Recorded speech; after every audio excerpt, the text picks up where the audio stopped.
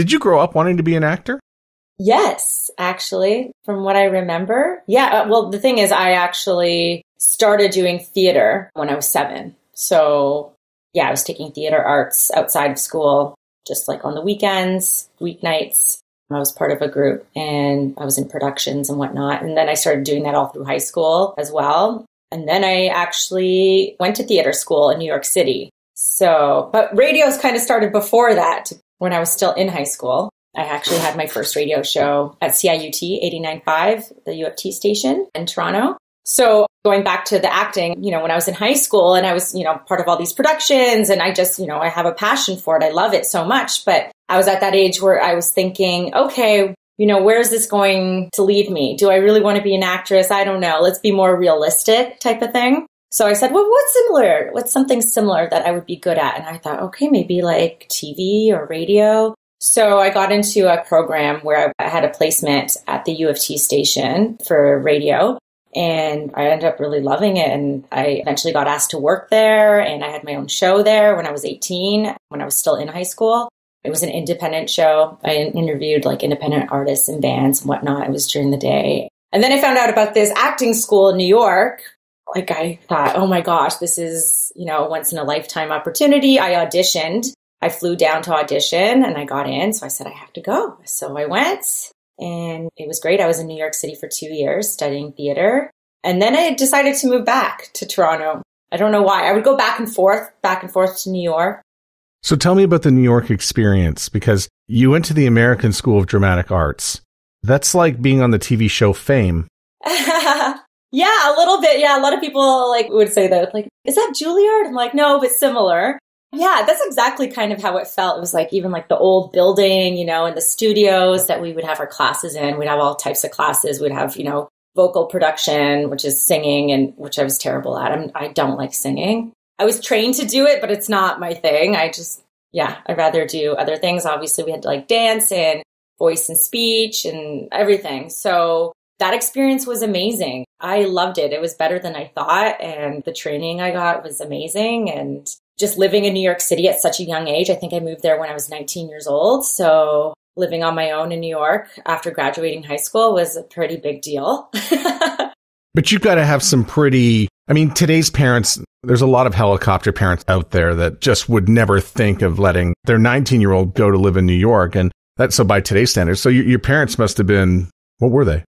Yeah, I guess they were very supportive. I guess you would say that. That's for sure very supportive. So, I mean, I think I remember my dad being super emotional about it, like after when they left me, and I was like, "Woo, this is exciting!" But yeah, it was it was just definitely like a no brainer for me and for them. You know, something I had to do and experience. So, and I'm really glad I did. I think I'd be a completely different person now if I didn't do that.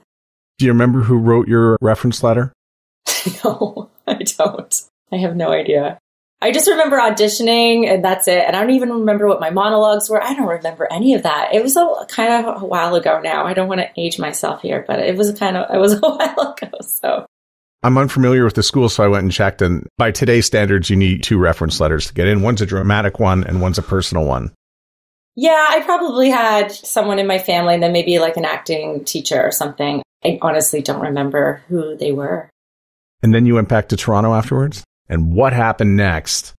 And then, you know, I was kind of auditioning. I just said, oh, you know what? Maybe I'll I'll just audition. I'll get an agent, and I'll, I'll go back to school to you know work on getting my degree because why not? But I don't know. I don't think that was really good for me because I felt as though just taking a course in university that's just general was not for me. I mean, for some people it's great, but I feel like I have to, you know, specialize in something.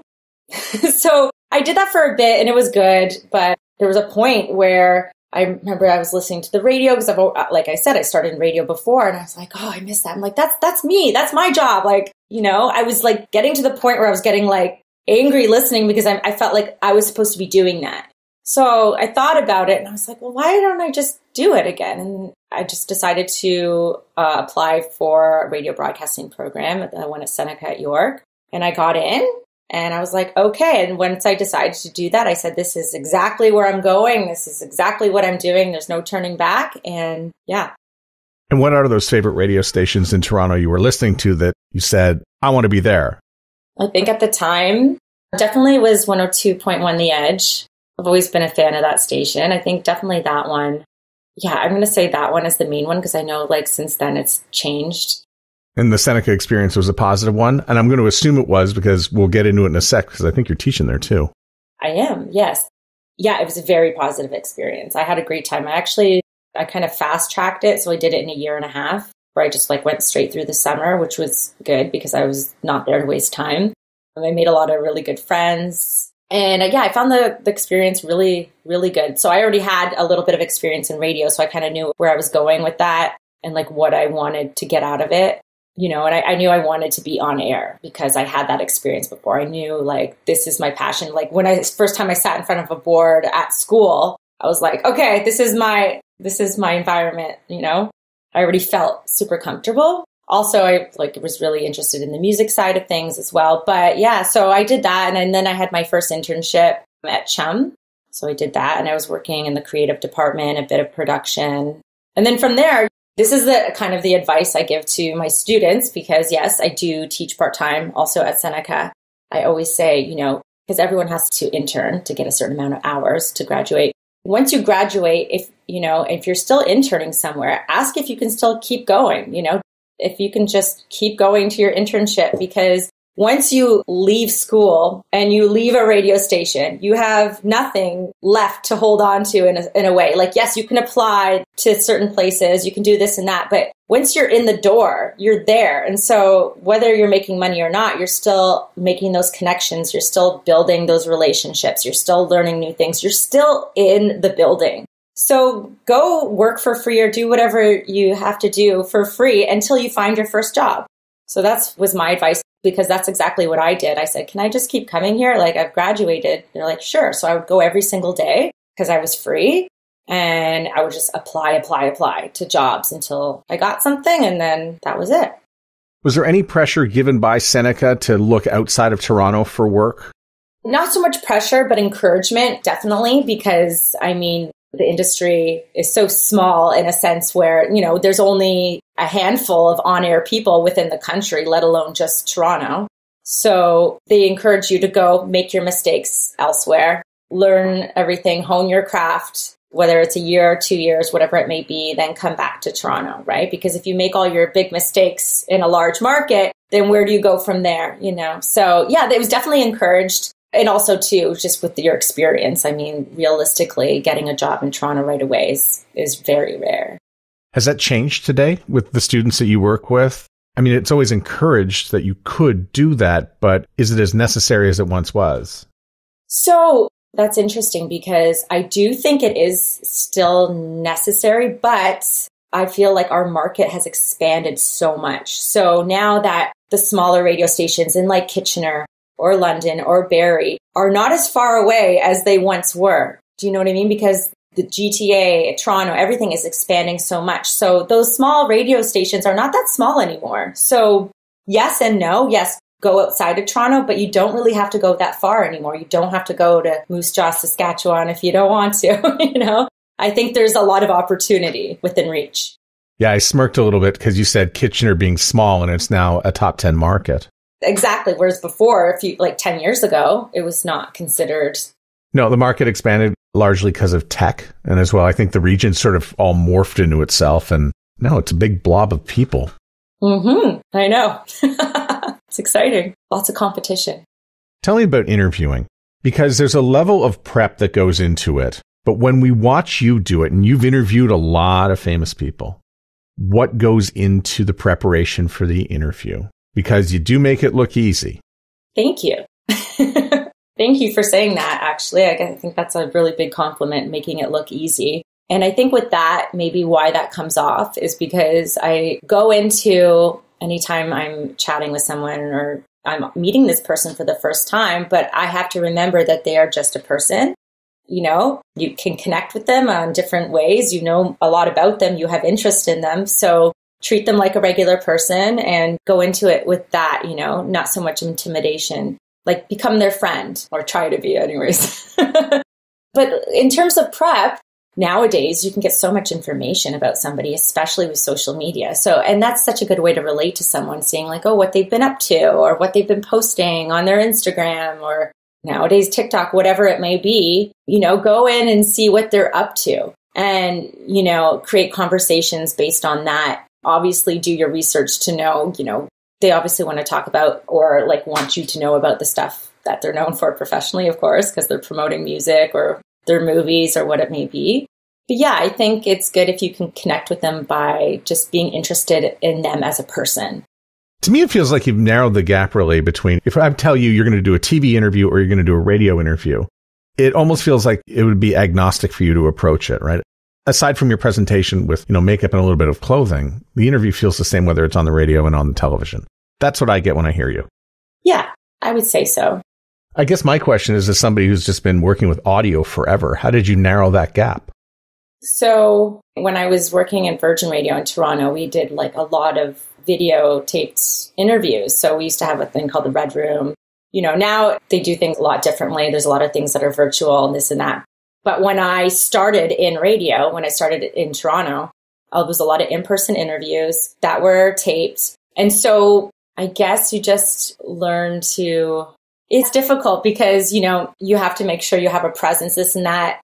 I think it has a lot to do with my acting background, to be honest. You know, I just know how to position myself. I know that, you know, I'm being looked at and you kind of want to have a presence. It's about having stage presence pretty much, right? So I think it takes a lot of practice too, because, you know, when you're interviewing someone, it's different like having a conversation on camera because you have to be aware of yourself very much so as you wouldn't be if you were just doing straight audio. So it's just being very aware, being very self aware, but also not being too self aware. It's like a fine balance. And I think it just takes practice, to be honest. Because obviously, I'm sure my first interview was not as great as ones I've done more recently. So, have you been working at Bell since you interned there?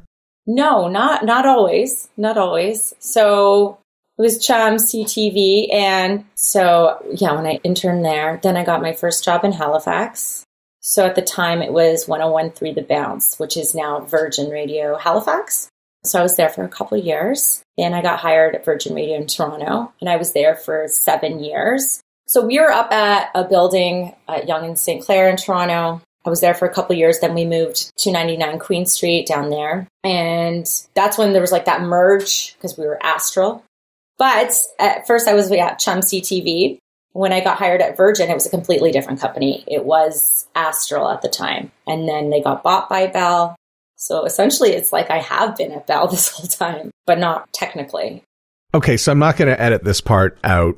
There are times I would edit around to try to make this a little smoother, but I think this is a good way to tell people about how the sausage is made for this podcast. And that's I will go and do research. And I looked at your LinkedIn and it said you had experience at 1013 in Halifax at Bounce. And I thought, um, maybe she was voice tracking.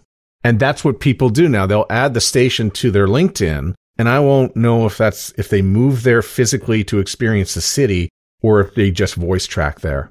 So I didn't know that. So you have to tell me all about your Halifax experience.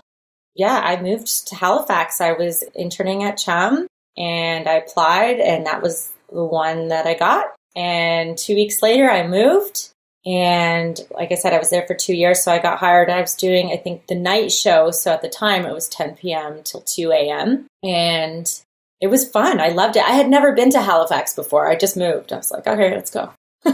and I fell in love with it. I actually it took me a little while at first to to adjust because I was used to bigger cities, obviously Toronto and living in New York, and I would fly to LA every once in a while because I have a lot of friends out there. And so I was like, big cities, you know, I'm like, where are all the tall buildings? But, you know, eventually, once I decided to embrace the city and the culture and everything, I made a lot of friends. I was doing lots of things, working at events, and I just had a really good time and I loved it. And I love, I love Halifax. Who doesn't love the Busker Festival down there in August? Right. and that's a great time slot too. I mean, between 10 and 2 in the morning, a shift that doesn't readily exist in a lot of places anymore. I mean, how much fun can you have on the radio in a city like that? Yeah, you know, and it's funny because I was still learning. It was like my first commercial radio on air gig. So it was great for me to just kind of test things out and, you know, kind of find my voice, you know, at the time. And then eventually I moved to the like the evenings, the 7 p.m. till midnight. And that was my thing for the rest of the time. But yeah, it was fun. It's such a great place. I made so many friends. Yeah, there's some great broadcasters too in that city. I mean, I think you're in the same building possibly as Steve Murphy. Yes, he was my neighbor. I lived right next door to him. really? Steve Murphy was my neighbor. Yep. I think he was working at Q104 at the time, but somebody like JC Douglas, who eventually did go to work at C100, and then a station like C100, which is like the de facto radio station of the city of Halifax since its inception in the 1600s. Yeah. yes, exactly. Oh, That's great. I'm glad. I'm glad you had a good experience there. But did you say you were going from Halifax to Los Angeles at times? Before that, mostly when I was in Toronto, I was going back and forth, and then I did a couple times when I was there. But it's too far. It's like going to Europe if you're in Halifax. So it's a long flight. Oh, that's an all day trip. Yeah. but yeah, I would go. A lot of my friends back from, you know, acting school and whatnot, a lot of them moved out to LA. So that was one of the avenues I was thinking of doing, but I never did. So I would just go visit and spend a lot of time there. Did you look for auditions, voiceover work? What was it in LA? No, I didn't. I didn't do any of actually, no, what? I did. When I graduated school, I went to the Clear Channel building at the time and I brought my demo and my resumes and all of that. And I remember I ran into somebody in the elevator. I dropped off my stuff there. And I remember I ran into someone in the elevator. I don't know who he was, to be honest. And after a friend of mine told me, they're like, that was an elevator pitch. That was your elevator pitch. And I was like, what? And I'm like, I'm like, I don't know what's happening. What do you mean? And they said, you, that was your chance to sell yourself. So apparently, you know, this guy was asking me, you know, what I was doing. And I explained to him, I'm here to drop off my demo. And he said, Oh, what are you looking to do? And I think because I was so fresh out of school, I really didn't know what I wanted. I wanted anything. And his advice, advice to me in this elevator as we're going down however many flights, he said, what you need to do is find that one thing Find what what do you want to do? Do you want to be on air? Do you want to do production? Find that one thing and get really good at it. Come back here and do that and say that's what you want. And I was like, okay. you know, I was kind of a little naive about the business at that time. I just graduated school, so it was that was an interesting experience. So I left there feeling like a little defeated, but also, you know, feeling like, okay, I see what's going on. I love how the roots of what you do all go back to performance. And, you know, when I asked about, you know, the difference between television and radio, there's performance. So I'll throw in the voiceover side of it as well, which also dovetails back to your acting. So tell me about your experience doing voiceover, maybe what commercials you've been in and where we can hear you now. That's so funny, actually. I almost forgot, but I was thinking about it today. My very first voiceover gig was when I was 11 years old. It was for the show Goosebumps. So I would at the time when I was younger, I also had an agent. So I was I was in shows like Road to Avonlea and stuff like that, just doing random things here and there. That's significant. Yeah, that is significant. I was only on the last episode. I didn't really have a talking part, but I was in the show. So I had an agent when I was 11 years old in Toronto, and one of the jobs I got was a voiceover job. So it was for the show Goosebumps. And I was literally in there for five minutes. I just had to dub it over somebody, over a scene of me saying, Oh, are you going to the party tonight? Sure, okay, something like that. Very, very quick, very short. But still today, I'm still getting royalty checks for that till this day. Really? It's not very much, but I'm still getting royalty checks in the mail, which is hilarious. Some people get like checks and the checks are so small, they're smaller than like the price of the stamp to mail them, but it'll still show up. Yeah, yeah, no, it's uh like maybe like ten dollars every year I get something stupid like that. But I'm like, hey, whatever. I guess I shouldn't have really been looking at your LinkedIn. I probably should have been looking at your IMDb. What else am I going to find up there? Yeah, I know. maybe I should make one of those. Yeah, so in, in, terms of like voiceover, I think, you know, that was the start at such a young age. But once I got into radio, that's when my whole career kind of blossomed with everything, you know. Most of the things I did were in house, but through working in radio and at Virgin Radio in Toronto and being connected to CTV and Much Music, I was asked to be the voice of Much Music, which I did for about three years, I would say. So all the promos you would hear a lot on TV or viewer discretions, all that type of thing, little ads here and there. I would voice those. Also, I think there was like a show called The Launch, CTV's The Launch. I did all the promos for that. A lot of things like that. A lot of stuff was in house. So once I left Virgin Radio and left all that, I kind of stopped doing that. I also used to voice the stuff for the CTV upfronts, the live shows and stuff. So, which I love. I love doing voice work. It's it's a lot of fun. How did you handle the pandemic? And and when you look back at it, how did you approach it? Because if you were in voiceover, you were largely sent home to record. If you were in radio, you were largely sent home to record. You're in television, that's going to be a little bit difficult. How did all that roll out for you starting March 2020? Well, yeah, my career changed significantly. Actually, it changed significantly before that in 20 at the end of 2018 because I was part of Cuts at Bell. So from there on, I started working on personal projects. I, I ended up getting like a partnership with Cuisinart, for instance. I just kind of like did a lot of stuff on social media. I was doing a lot of cooking videos, all kinds of stuff like that. Just really just keeping up with the times and staying relevant. And then I was teaching, of course, I was teaching. So that was always good. Once March 2020 came, actually, it's interesting because I started getting the most work that I've gotten during the pandemic to be honest, which is so rare. And I, you know, I kind of hate to say that because a lot of people did not have such a good time, but I did get a lot of work. So I ended up freelancing for Bell again once the pandemic started, and I was doing all my radio shows from home. And I've been doing radio shows from home for two, almost three years now. Like I still do some stuff from home. So I got hired for, which is now Move 1057 in Niagara. What was it before? Easy Rock. So I was doing Saturday and Sunday show and it was all from home, my condo downtown. And it was great. It worked well for me. Nobody was going anywhere. I was working. I was back on air.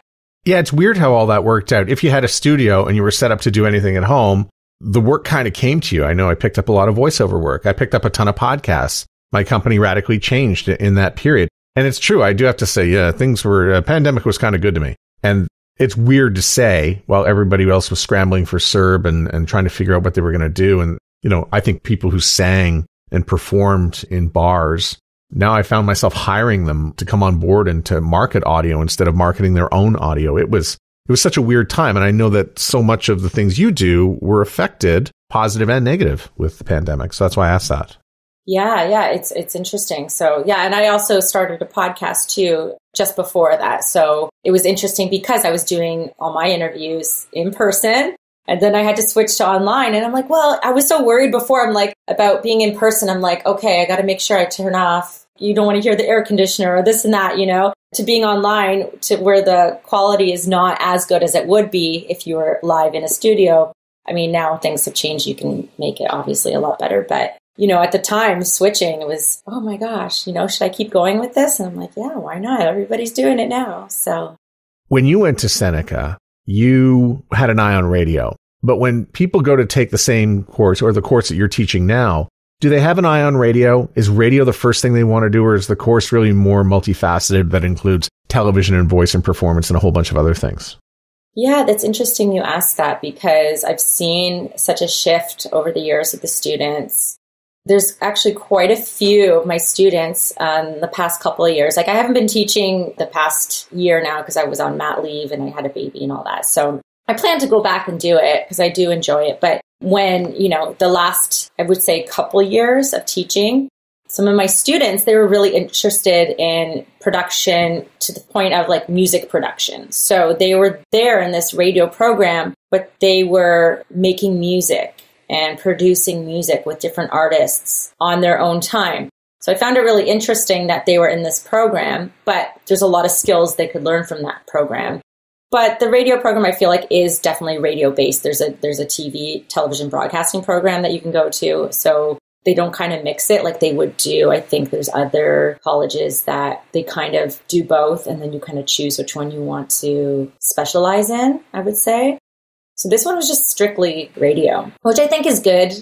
Like if you know that's what you want to do. But I also think it's good to know both because this industry now, a lot of jobs go like TV and radio go hand in hand these days. So Aside from what you touched on about them wanting to get in and produce a little bit more music, how are the students of today different than when you were a student? Uh, younger. Uh, I'm joking. Listen, you're too nice. And you don't want, and you're not the type of person who wants to stale date or date themselves in any fashion. But there's got to be something in your head that goes, that wouldn't have cut it in my day. Yeah, I, I, mean, for sure, definitely. I mean, the, the attitudes are definitely different. They're a lot, a lot more entitled in terms of like there was a couple times where some of the students would be challenging me in what I'm trying to tell them as if they have more experience than me. But I kind of just like shoot that down right away. So I don't put up with it really. And, and I'm not I'm not like strict or anything. I just won't give you the time of day. Like if that's how you're going to speak about things, I'm like, okay, I'm not going to focus on you because I'm I'm not teaching high school. I'm here if you want to be in this program, you're spending money. If you want to be successful, you should probably listen to the person who's teaching you who works in the industry and has been in your position and knows what they're doing. So I just think that for me, I was just wanted to absorb everything and learn from people who are actually working and doing what I want to be doing you know, and not all the students, obviously, most of the students were really like diligent in that way, where they were there to learn and like just want to know everything that they can. What excites you about the future in this? Because there's so much and you're involved with so much, whether it's, you know, behind the microphone, in front of the camera, with the students. What is it that excites you about the, maybe the next five years about what's coming and what do you see and what makes you go, man, that's going to be exciting? Yeah, I think, you know what? I love how we're all so connected more globally now than ever. And I think the pandemic has really brought that out in a lot of industries because, you know, we're doing so much, so much more online now, more than we would have been doing if there wasn't a pandemic, I would think. So I love that, you know, there's lots of possibility for, I mean, all kinds of things, just connecting with, you know, other parts of the world and seeing where things like that could go because I don't think radio's going anywhere, even though people say that sometimes. I, I really don't. I think it's just it's just going to expand into something different. And I don't know, it's exciting. I don't even know like what's going to happen, but I feel like you have to keep going with the times and keeping yourself relevant and keeping up with new trends and new things that are happening in the industry. Otherwise, you're just going to fall by the wayside. That's right. Tessa, thank you very much for joining us. Thank you. Thanks for having me.